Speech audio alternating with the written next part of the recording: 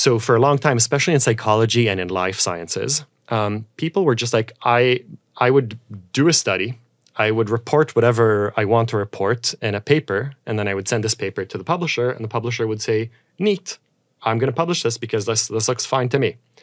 I wouldn't tell you if I found things that are inconvenient uh, because I have my theory, or if I found things that I didn't expect to find, I would be like, uh, "I guess I planned this all along."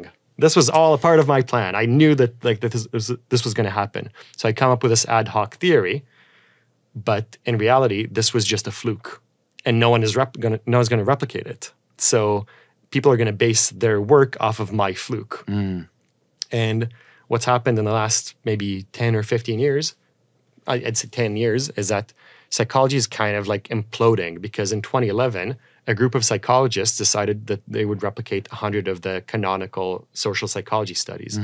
And I think that uh, 37 were replicated properly. So the majority were s- couldn't replicate. Wow. Yeah. So stuff like the most viewed TED Talk, at least at that time, was one by Amy Cuddy, who is a social psychologist, and she looked into um, power poses, Oh yeah, yeah, I heard about this. right? so that yeah, didn't yeah. replicate. It didn't replicate. That's right. Yeah, the power pose. Yeah. Yeah, yeah. And then, so now what do we do? Like, you know, this is in so many books of like how to do well in a job interview and stuff like that. People were really like, this was changing people's. Did you hear lives. about that group of researchers who were uh, manipulating getting their uh, research papers published? yeah. It's fucked. Yeah, this is like the this this industry is messed up, and it's messed up because it's an industry. It, it shouldn't be an industry.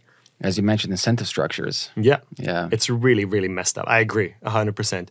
There's some people that are trying to kind of uh, correct the way things are right now. Um, there's some interesting idea out there. There's uh, my colleague Hause Lin from uh, the University of Toronto has I think a really interesting idea of basically. I mean, I don't want to um, mispresent his his uh, idea, but if I understand it correctly, it's um, you upload your paper, uh, and then people basically comment on it Gotcha. and then you can upvote or downvote comments um, and then you kind of you get currency within the system based on how much you upvote or Yeah, downvote it's, a how much it's you, a curation type Yeah. of list. Yeah. yeah so so yeah but i don't exactly know how expertise would play into that That's a problem. yeah It's like there's also there's no skin in the game. Yeah. well i mean I, the idea is that would it would all be public so not anonymous Yeah. so if i critique your work then you know who said that your work is good or bad Yeah. so there is some like reputation is everything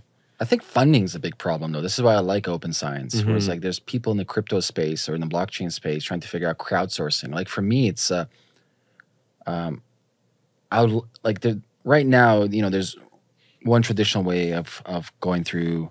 You got to go through the red tape. You got to raise. I think people forget how expensive studies are.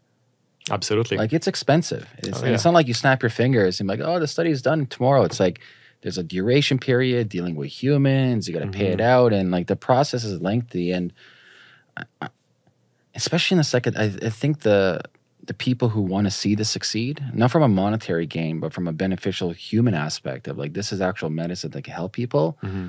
I think this might be kind of the stepping stone or catalyst to kind of launch this kind of movement of open science. Right. So I will say that I think that a lot of people in the psychedelic space are, I think they're pro open science in theory, but they're not actually doing it.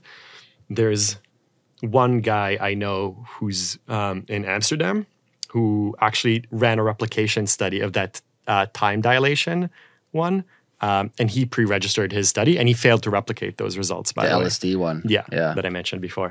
Um, and when I saw his work, I was like, I'm blown away. You're the only other person in psychedelics who pre-registers. So he's a cool guy. I do not remember his name off the top of my head, but he's a grad student in Amsterdam, George something.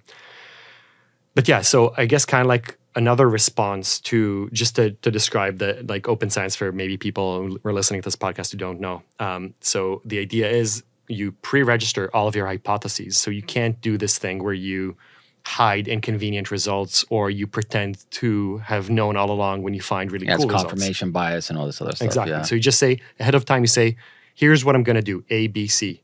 And then when it's time to publish, you show the publisher, you say, I said I would do A, B, C. I did A, B, C.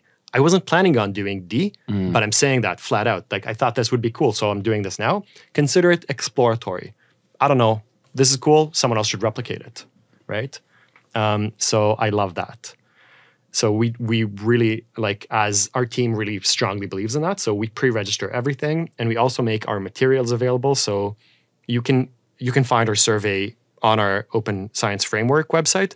All of what we did, you can find it. You can replicate our study using the exact same materials.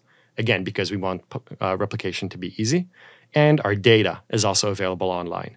So if we may have made mistakes in our statistical analysis, and if anyone wants to check it out, they can reproduce it. Um, so I think that's really cool. In terms of, uh, I, I also I'm surprised to hear that uh, the um, crypto space is also involved in this. There's a lot of overlap between psychedelic people and crypto. Yeah, I'm people. not surprised. So um, I'm kind of I'm jumping the gun here. I don't exactly know when this will get published, but there's this company called Molecule. Um, I know the guys. They're so They reached cool. out to me. Yeah, yeah. They're so nice guys, Yeah, yeah. and they have a really cool idea. They want to, if I understand correctly, to like democratize drug development Yes. um, using blockchain technology. Um, and so they reached out to us, and I think our project is going to be either their first, like their flag project, or one of the first projects that they're going to work with. So they're going to help raise funds for us.